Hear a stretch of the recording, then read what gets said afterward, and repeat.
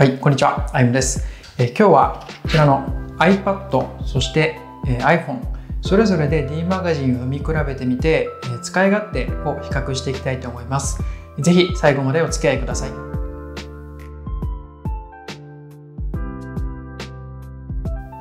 はい、えそれでは改めましてですね、iPhone と iPad でえ D マガジンそれぞれ使ってみた使い心地を見ていきたいと思います。で今回比較するのは iPhone7 と iPad Pro です。それぞれ iPhone が5.5インチ、iPad Pro が11インチというサイズ感になっております。えーまずトップページですね、えー最初に開いた感じはこういう風に一覧で表示がされます。でご覧いただくと分かる通りですね、えーこんな感じで一覧で表示される雑誌の数がかなり違うのが分かると思います。えー iPad の方は12345 5四半5個半ですね。に比べて iPhone こちらは2個と半分という感じで、まあ、画面のサイズがそもそも違うのでこれぐらい、えー見やすさ一覧の表示に差があるということです。やはり雑誌のメリットっていうのは文字とビジュアルで、えー視覚的に楽しめるっていうのが大きなメリットだと思うのでやはりこの画面の大きさっていうのが iPad の方が大きなアドバンテージになってるんじゃないかなと。で僕はですね、両方こういった感じで使ってるんですけれども、もう普段はもうほぼ 100%iPad で D マガジンを読んでいます。明らかに iPad の方が読みやすいので、iPhone で読むことは正直ほとんどありません。やっぱ D マガジンの魅力ってこういった感じで自分が読みたい雑誌をですね、とにかくひたすらこうやって読みまくれるっていうのが、え一番のメリットだと思うんですけどもそういった時にこの一覧性があるかないかっていうのはすごく重要だと思うんですね。こういった感じで小さい画面で見るのは、まあ、もちろん外出先とかだとねこういうのがあると役立つと思うんですけどもこの違いはやっぱり大きいんじゃないかなと思います。で実際に紙面を開いた時のですね読みやすさもまあ格段に iPad の方が上になります。例えばですね雑誌一つ開いてみましょうか。そしたら Mac ファン開いてみたいと思います。はい。トップページ開いた感じはこういう具合になります。iPhone の場合縦でも横でも使えるんですけども僕は基本的にこういう横のスタイルで読むことが多いです。でこう開いてみた時に iPad だとこう見開きでね本当の雑誌と同じように見開きで1ページ表示されるんですけども iPhone だとこういった感じでスワイプしてページを送る必要があります。なのでまあ単純に2倍のスワイプが必要になるということになりますね。やはりこの見開き1ページで見れるっていうのは本当の紙の雑誌に近い感覚で読めるっていうメリットがあります。で結構雑誌によってはですね見開き1ページでレイアウトをあえて作っているっていう雑誌も結構あるんですよね。こう、ま、真ん中の半分のところで写真がつながっていたりとかそういうその雑誌ならではのレイアウトもやっぱり iPad Pro の方が、え見やすくなっていますね。今度は女性ファッション誌を開いた感じですね。特にこういうファッション誌とかっていうのは写真がこう大きくてで文字がやっぱり小さいですよね。こう見た時に文字がすごく小さくて文字を読む時にこうピンチアウト拡大して読むことになるんですけどもやはり画面の大きさがかなり大きなアドバンテージになっているんじゃないかなと思います。結構ピンチアウトしないと iPhone だとこう読めないんですけど iPad だと大体これぐらいで十分読めるサイズになります。で正直 iPhone だとこの文字を読むときにですね、えー全くこの状態だと読む判読はかなり難しくなってしまいます。こういうふうに拡大して読まないといけないので、えこれをですね全てのページでその都度やるっていうのはなかなかちょっと骨が折れる作業になるんじゃないかなと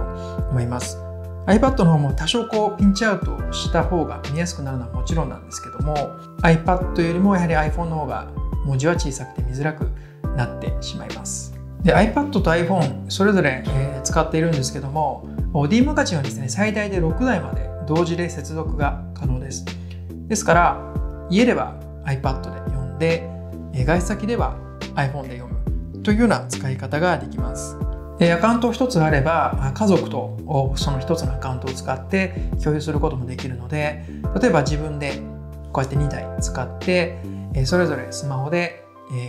奥さんに1台子供に1台という感じでアカウントを全部 6, 6個まで分けることができるので家族で共有することもできますで、使い勝手で見るとですね、この下のメニューバーがあるんですけども、もうこのサイズもやはり違いますね。えー、生地から選ぶっていうのも、こういった感じで、えー、かなり紙面に大きな違いがあります。iPhone の方は、えー、こういった感じで見開きで開いた場合も大体紙面が1つ半ぐらいになってしまうんですけど iPad の場合は、まあ、2紙面の半分ぐらいという感じで読めるので、えー、やはりこの一覧性はこの雑誌一覧もそうですし、えー、記事から選ぶ場合でも同様です。でおすすめとか表示する場合もこれだけ見やすさに違いがあります。1234つ表示されているのに対して、えー、iPhone の方はほぼ1つという感じです。こうビジュアルメインの紙面を見る場合は iPhone でもまあ写真なのでねいいかなと思うんですけどこういう宇週刊誌とかを読む場合っていうのは相当読みづらいと思います。例えばですねこう開いた時こういうふうに拡大して読まないといけなくて、えー、こう読む時にですね iPad だともうこのままスーッと読めるんですけど iPhone だとこういった感じで動かしつつ読んでいかないといけない。で下の行行く時もこういう感じで読むことになるので、えー、長文をですね iPhone で読むっていうのはなかなか厳しいんじゃないかなと思います。で先ほどですね合計で6台共有できるって、え伝えたんですけどもその時に気になるのがその閲覧履歴だと思うんですね。で閲覧履歴っていうのはですねこのマイページというところから見れるんですけれどもこの最近読んだ記事っていうタブを開くと見ることができます。でこういった感じで最近見た雑誌がですね表示されるんですけどもこの読んだ履歴っていうのは iPhone と iPad では共有されません。えー、その証拠にですね、今 iPhone では3紙、今開いたものなんですけど、iPad のはたくさんこう出てきてますよね。という感じで、えー、最近読んだ記事も同様で、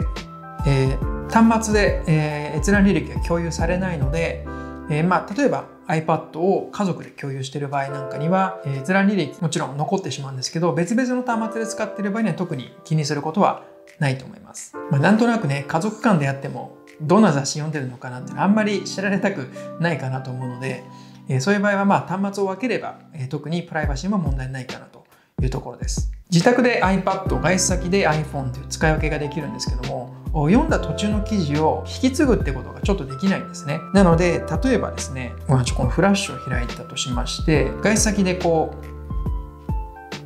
この辺まで読みましたと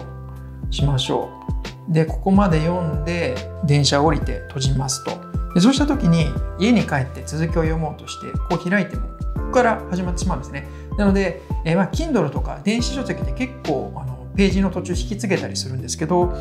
これに関してはその引き継ぎ機能はありません。先ほど説明した通り僕が使っているのはこの iPhone7.5.5 インチと iPad Pro の11インチです。サイズがやっぱりかなり違うのでえ、僕個人的にはこれまで9.7インチの iPad とかでも使ったことがあるんですけど11インチぐらいあると相当もうほぼストレスなく読めるというような状態になります。なので雑誌をですね頻繁に読むという方は11インチぐらいの大きさがあるといいんじゃないかなと思います。11インチの iPad だとあのもちろん据え置きで自宅で使うのも問題ないですし外出先に持ち運ぶのもねそんなに意外と苦ではないです。なので、まあ、両方ね家でも外出先でも使えるっていう意味では11インチぐらいの iPad は個人的にはすごく理想的な大きさなんじゃないかなと思っております。で今回は iPad と iPhone を比較したんですけれども iPad 以外のタブレット端末でももちろん D マガジン読めますし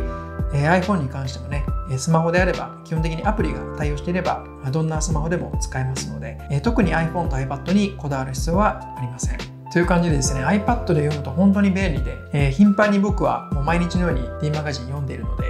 えー、これぐらいの大きさがあるといいかなと思いますのでこういう D マガジンとかを読む機会が多い人はこれぐらいの大きい iPad を一つ持っておくと非常に便利なんじゃないかなと思います。はい、えー、というわけで iPhone と iPad でそれぞれ D マガジンの使い勝手を比較してみました。こちらの動画が少しでもお役に立ちましたら高評価ボタン、チャンネル登録よろしくお願いいたします。